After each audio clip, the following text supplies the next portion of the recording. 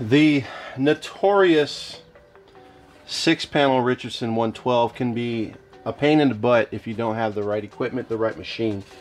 One of the benefits of using the IQ 360 hat press is the fact that with this press you have the curved element that really curves to the shape of the inside of the hat.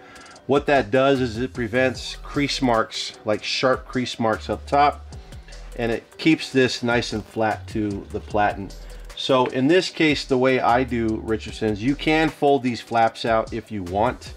Uh, in this case, we're doing a DTF leatherette patch.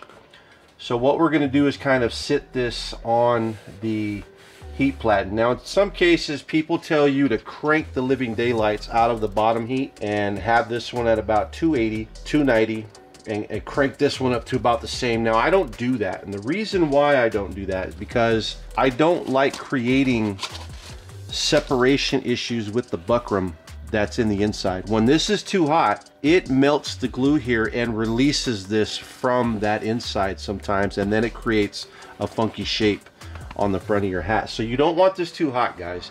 So I usually keep this anywhere between 200 and 225. Uh, if I'm doing leather, I'll probably crank it up to about 275 and then have this at about 280, 285 for leather. At least the leather that we do, that's where the settings are.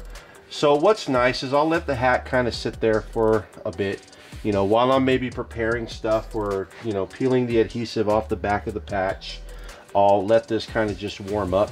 And what you can do while this is warming up, which I highly recommend, just lay your silicone mat. We sell these on our website, Esentl Print Supply. This is a creation of mine. It also comes with the uh, bill protector that protects the bill. It just keeps the hat from getting scorched in any area of the hat. I kind of just set it on there just to keep it warm. So while that's just kind of heating up, we're going to take our patch that we're using here and we're going to peel off the back. Now this is a DTF on leatherette patch, but what we're gonna do is first take the hat and we want to do a pre-press on this, especially when you have the six panel uh, hats. Any six panel hat or, or even five panel, but definitely six panel, you want to do a preheat because what that's going to do is it's going to get that hat down.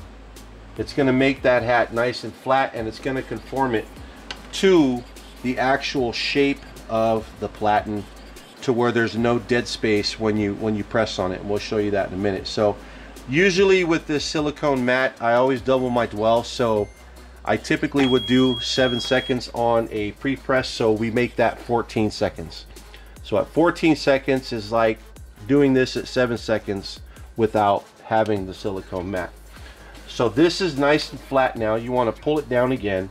Make sure it's nice and flat and you don't have any issues. Now I like to kind of just work it, get your hand down and make sure it's nice and flat.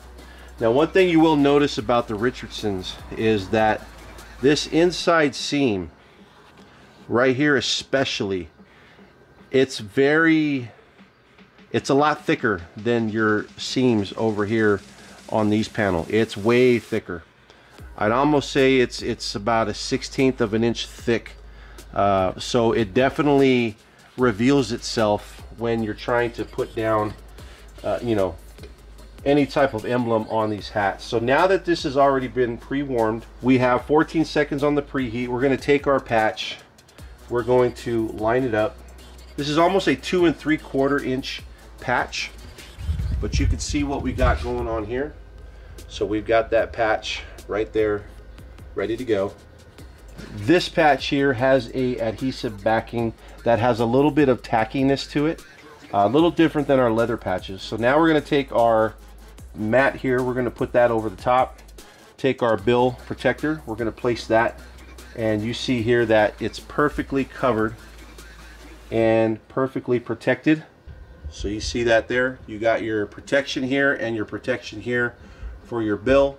So now you're ready to press. And it's kind of nice because you know that you're not going to damage your hat.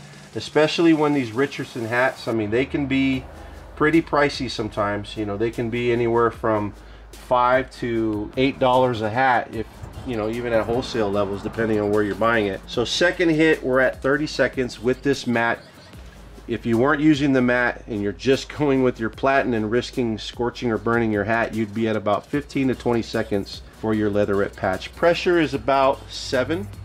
So you want to be upper sixes, lower sevens on your pressure. That way it's not squeezing the daylights out of the patch and squishing the glue out of the patch to where you're seeing a rim of glue around the patch when you're all done. You want to find that just right uh, section and then when this hat is done, you just want to put it aside and don't mess with it. Let, let the adhesive cure, let it do its thing.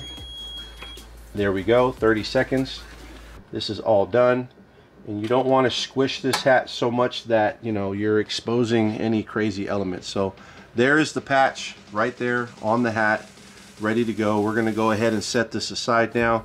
You can look at your seams. Everything looks beautiful.